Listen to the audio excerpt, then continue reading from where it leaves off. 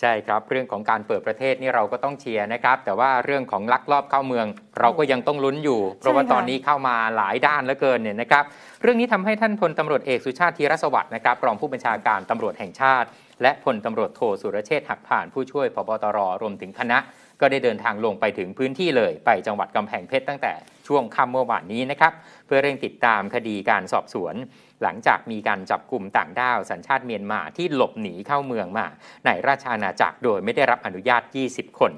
และยังพบศพต่างด้าวนะครับชาวเมียนมา 3 ศพ บริเวณสวนยางในพื้นที่ตำบลนาบอกคำนะครับ จากการสืบสวนของเจ้าหน้าที่ตำรวจทราบว่ารถคันที่ประสบอุบัติเหตุเป็นรถกระบะมีคอกยี่ห้ออีซูซุสีขาว หมายเลขทะเบียนบอใบไม้นอหนู 6487 จังหวัดตาก และสามารถตรวจยึดมาได้ ต่อมาทราบว่าคนขับรถคันดังกล่าวชื่อนายอุทัยแซ่ม้า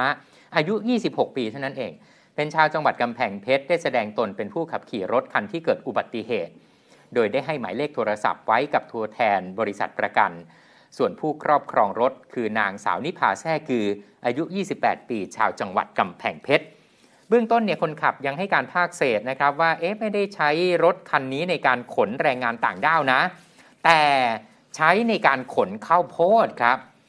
ส่วนผลการตรวจพิสูจน์พยานหลักฐาน พบวัตถุพยานเป็นเลือดมนุษย์ พร้อมกับลายนิ้วมือที่ราวเหล็กฝั่งซ้าย และดินที่ติดรถมาจากที่เกิดเหตุในจังหวัดตากค่ะ ในการประชุมติดตามคดีใช้เวลากว่า 1 ชั่วโมงเลยนะคะ ที่พลตำรวจเอกสุชาติและพลตำรวจโทสุรเชษ์เนี่ยนะคะ ได้ประชุมติดตามคดีนี้ แล้วก็ออกมาดูรถของกลางรวมทั้งหลักฐานวัตถุพยานต่าง ๆ ซึ่งเจ้าหน้าที่พิสูจน์หลักฐานเก็บไว้ทั้งหมด จากนั้นให้สัมภาษณ์บอกว่าตามรายงานตำรวจจังหวัดกำแพงเพชรและจังหวัดตากเนี่ยทราบว่า ผู้ต้องสงสัยเป็นคนขับพาแรงงานต่างด้าวมาจากแนวชายแดน ซึ่งขณะนี้กำลังตรวจสอบย้อนหลังไปว่า มาจากเส้นทางใดแล้วก็ผ่านจุดไหนบ้างจนเป็นเหตุให้เกิดอุบัติเหตุขึ้น ก่อนจะมีการนำแรงงานที่บาดเจ็บและเสียชีวิตมาทิ้งอีกจุดหนึ่งค่ะ ซึ่งก็ต้องมีการพิจารณานะครับ ตั้งแต่จุดเกิดเหตุว่าเกิดในท้องที่ใน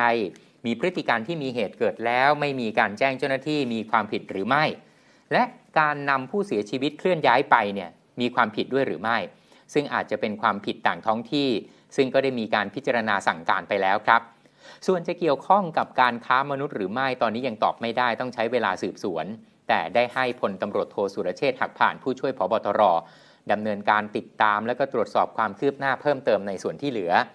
ถามว่าจะเกี่ยวข้องกับการที่รัฐบาลเปิดให้มีการขึ้นทะเบียนต่างด้าวในช่วงเวลานี้หรือไม่นั้น ท่านบอกว่าไม่น่าจะเกี่ยว เพราะว่าไม่เปิดให้ขึ้นทะเบียนก็มีการลักลอบเข้ามากันอยู่แล้ว โดยจะลักลอบกันเข้ามาตามเส้นทางที่หลบเลี่ยงด่านตรวจในแต่ละพื้นที่ครับ